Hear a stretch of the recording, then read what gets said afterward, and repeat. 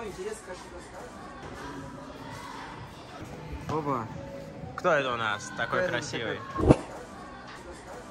Это я. Срыв. Свет. А покажи журнал. И это у нас Скала. Камила. Камил Марони и Скалолаз Про. Круто. Да. Всем привет и добро пожаловать в скалолазный центр Скалодром.ру, который находится в Одинцово и является самым большим скалодромом в Подмосковье. Сегодня мы вместе с Ладом после разминки на обычных трассах пойдем лазать на килтерборд, который в уникальном экземпляре находится на скалодроме в Одинцово.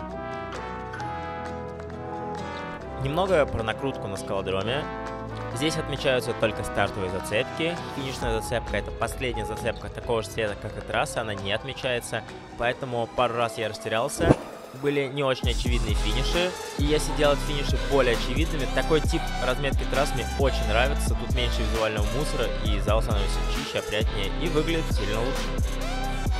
На этом видео можно сравнить мой стиль лазания и Влада. Это наша попытка на флеш. Я стараюсь лезть намного быстрее, потому что я лазу преимущественно полдеринг. Влад наоборот, он родился в Крыму и преимущественно лазает на скалах в Крыму, поэтому у него очень хорошая выносливость, хорошо располагается, но при этом чуть медленно лезет полдеринг.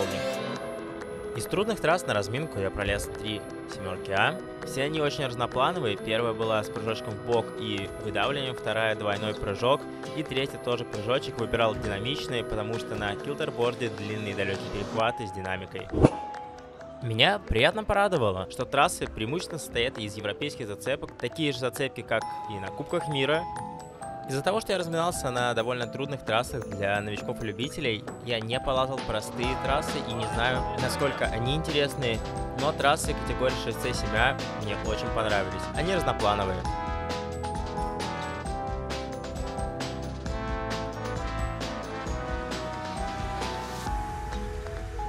Если вы хотите посмотреть на полноценный обзор скалодрома на трудности на болдеринг, пишите в комментариях. Если будет много комментариев, обязательно сниму ролик. А если наберется больше 150 лайков, я сниму обзор трудностей на килтерборде, да, и такая опция тоже есть.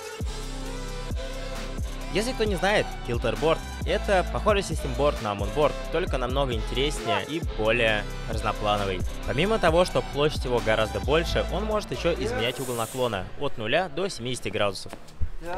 План тренировки был такой. Мы выбирали трассы, сначала попроще 7B, 7C, потом переходили на более тяжелые 8А, 8B.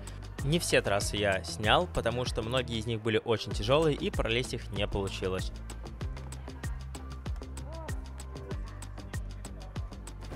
тяжело. Вообще очень непривычно такой штуки лазать, зацепки немного скользкие. И недавно помыли борт. Правый, левый, правый. Довольно ломовая трасса. Как мне сказали местные скалолазы, из-за того, что помыли зацепки, они еще не смагнезились и немного скользкие, кожу очень сильно стирали. Поэтому полазали мы где-то полтора часа, кожа стерлась и сил вообще не было больше лазать. Сразу хочется уточнить, что категории здесь странные и многие трассы сильно проще, чем есть на самом деле. Вообще, килтерборд достаточно уникальная штука, и она мне больше нравится, чем онборд. Во-первых, потому что зацепки здесь сильно больше, а перехваты сильно дальше из-за чего корпус намного больше напрягается, и, такое ощущение, как будто ты сходил в качалку. При этом перегрузить пальцы можно точно так же, как и на мунборде, но вероятность этого чуть меньше, потому что зацепки сильно больше. По ощущениям, я полазал минут 30-40, и после этого я резко устал, почувствовал усталость, руки уже не притягивали, тело особо не держало, и следующие два дня после тренировки на килтерборде у меня болело все тело. Это намного интереснее, чем делать УФП, и при этом еще пальцы качаются. Ну а если вам понравилась доска, вы можете перейти по ссылке в описании на сайт Scaldrum.ru и приобрести там килтерборд. У него есть маленькая версия для дачи, отлично подойдет. А Scaldrum.ru являются эксклюзивными дистрибьюторами килтерборда в Россию.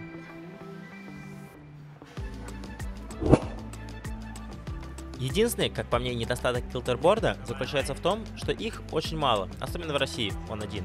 Поэтому многие трудные трассы мало людей пролезло, а значит категория довольно гуляющая. Но самое интересное в килтерборде то, что вы можете выбрать трассу с углом наклона 50 градусов. Если у вас не получается, вы можете изменить угол до 40 или 30 градусов, тем самым убрав одну или две категории. К примеру, если на 50 градусов категория трассы 7А, на 40 это будет 6C, а на 30 6B. Если позволяет высота помещения, килтерборд можно поднять и на 20, и на 10, и на 0 градусов, тем самым сильно упростив трассу. Благодаря чему намного проще отрабатывать тяжелые трассы. Получилось на 20 градусах, изменили до 23 или 25. Получилось, снова увеличили градус. Во время тренировки мы старались не делать большое количество попыток на одну трассу, и как только кто-то из нас успевал пролезть трассу за 3-5 попыток, мы переходили на следующую. На этой трассе быстрее пролез Влад.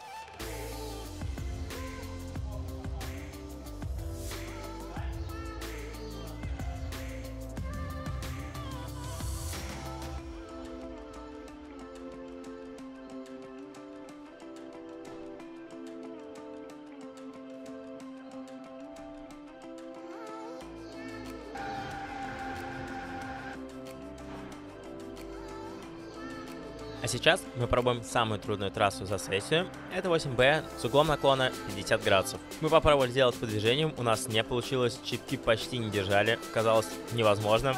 Я предложил изменить угол наклона до 40 градусов и стало сразу сильно легче. Изменили угол наклона до 40 градусов, теперь попробуем же трассу, но 40 градусов. Даже после того, как мы изменили угол наклона до 40 градусов, трассу собрать было крайне тяжело, и залез в Влад я уже чувствовал усталость. По движениям собрать получилось. И лучший результат я пролез трассу с одним стрелом, вот на этом перехвате, щипка на щипок. Нужно попробовать свежим, возможно, она не такая тяжелая, как кажется, может быть я слишком сильно устал. Но по ощущениям она казалась невозможной. Большое количество перехватов, и все перехваты достаточно силовые. И начиная со старта ты понемногу тратишь энергию, и под конец перехваты вроде не тяжелые, но когда ты лезешь сначала, сделать их очень тяжело, потому что энергии уже не остается.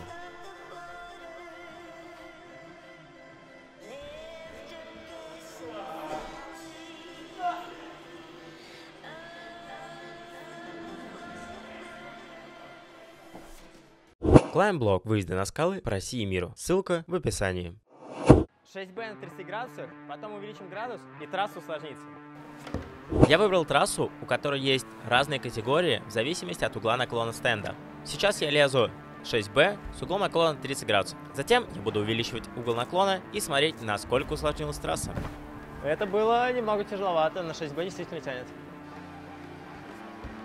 Та же самая трасса, но уже на углу наклона 40 градусов. Попробуем.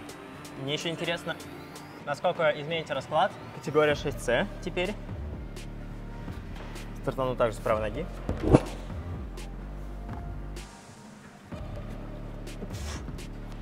Правая рука очень пассивная.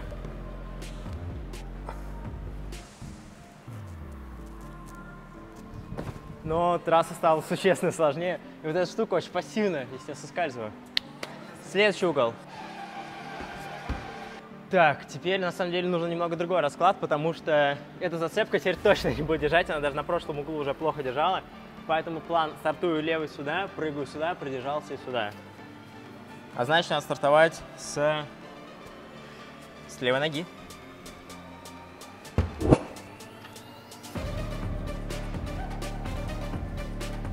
На!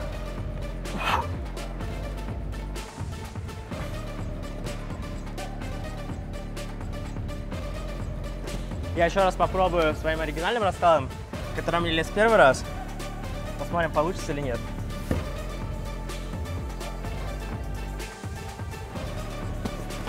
Так уже не лезется. Опустил до 60 градусов. Теперь, я думаю, это 7B будет. Предыдущая была 7 Попробуем. Шуф. Тут надо, возможно, так и сразу так ловить.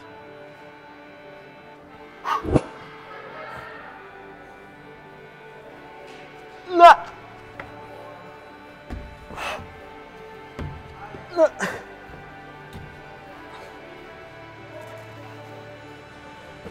Фу. Но семерочку Б точно можно дать, она стала очень интересной. Я теперь не могу статично удержать. Нужно прыгать правый-левый. Теперь 70 градусов. Если в прошлый раз я здесь стоял нормально и до этих еле дотягивался, то теперь я их касаюсь головой, потому что теперь здесь потолок. Я думал, что это будет каждый раз на категорию сложнее. 10 градусов прибавил, категорию, на категорию тяжелее трасса стала. Но, но пишет, что это теперь 8 И в целом это вполне возможно. Теперь нужен новый расклад, потому что я так не прыгну здесь. Надо, наверное, схом подцепить будет старт. Да, я сказал так, чтобы было место для носка.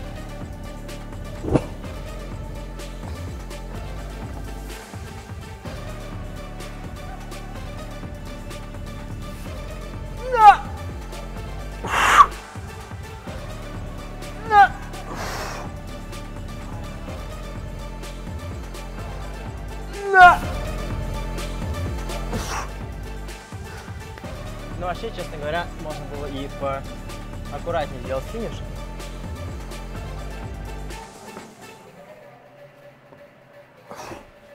Трасса стала намного тяжелее, очень тяжелая. Ну и на заминку Влад Шевченко выбрал трассу, которую он хотел попробовать, это 8Б, с углом наклона 70 градусов. Я ее пробовать не стал, кожи совсем не было, было очень больно держать зацепки. А вот Влад, как свеженький, решил наработать трассу. 8Б.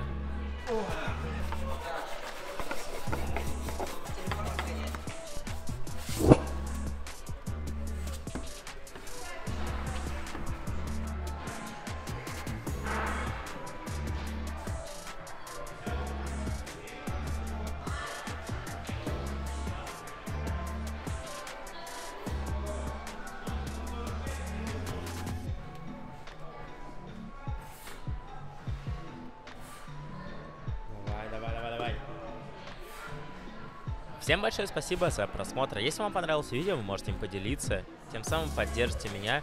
Больше людей узнают о моем канале. Мне будет очень приятно, это мотивирует меня на выпуск большего количества видеороликов. Yes. Yeah.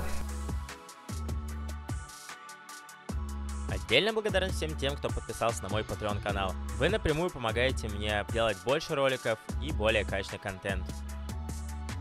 Пока!